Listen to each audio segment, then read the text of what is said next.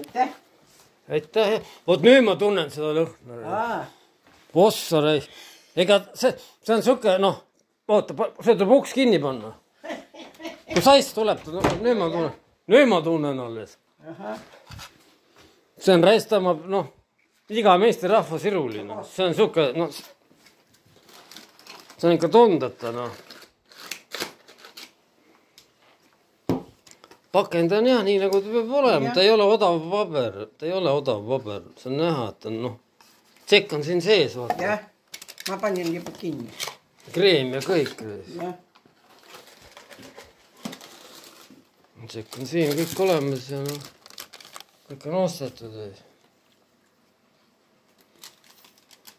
Türi kaubamaja. oota, lase kott, too kott siia, paneme kotti natuke lõhna.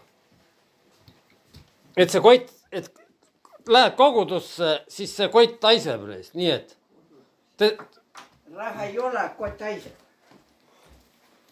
oota. oh sa raisk, las ta olla, see, pane lukku kott. jah, Pastor kukub pikali, kurat.